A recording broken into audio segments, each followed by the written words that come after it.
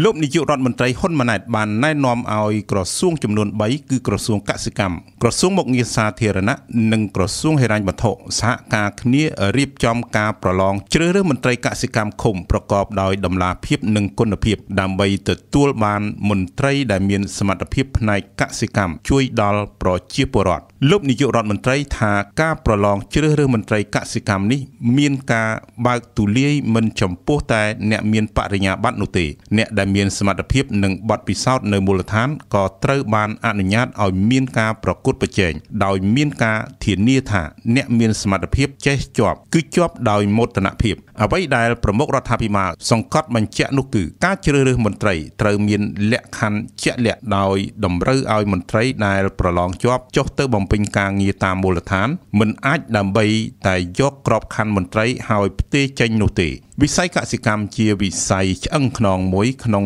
ការជួយទ្រទ្រង់ដល់សេដ្ឋកិច្ចកម្ពុជា ក្រសួងកសិកម្មដែលតែងតែរងនៅការវាយប្រហារពីរឿងទីផ្សារកសិផលកន្លងមក បានដាក់យុទ្ធសាស្ត្រពង្រាយមន្ត្រីកសិកម្មនៅតាមឃុំនានាទូទាំងប្រទេសដើម្បីជួយផ្នែកបច្ចេកទេសដល់កសិករនៅក្នុងការដាំដុះសូមរំលឹកថាតម្លៃកសិផលទូទៅរបស់កម្ពុជាកន្លងមក តែងប្រឈមនៅបញ្ហា ដោយសារឈ្មួញក្រឡុកតម្លៃទីផ្សារជាពិសេសតម្លៃស្រូវក៏ប៉ុន្តែនៅឆ្នាំនេះតម្លៃស្រូវហាក់មានភាពប្រសើរទោះយ៉ាងណាការចិញ្ចឹមជ្រូកនិងការនាំជ្រូកចូលពីប្រទេសជិតខាងនៅជាបញ្ហាចម្រូងចម្រាសនៅឡើយក្រៅពីនេះការនាំបន្លែចូលពីក្រៅប្រទេសការដាំដុះនៅក្នុងស្រុកដែលជាប់ពាក់ព័ន្ធនឹងការប្រើប្រាស់ថ្នាំគីមីហួសកម្រិតក៏នៅជាសំណួរដែលក្រសួងកសិកម្មត្រូវបន្តមានចម្លើយនិងដំណោះស្រាយផងដែរ ជាការពិតកសិកម្មគឺជាវិស័យចន្ទុលសេដ្ឋកិច្ចមួយរបស់ប្រទេសក៏ប៉ុន្តែយោងតាមការព្យាករណ៍របស់ក្រសួងសេដ្ឋកិច្ចកាលពីឆ្នាំ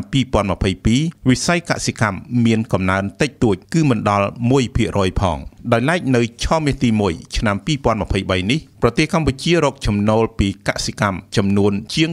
2400លានដុល្លារគឺធ្លាក់ចុះជាង22%ធៀបទៅនឹងរយៈពេលដូចគ្នាក្នុងឆ្នាំ2022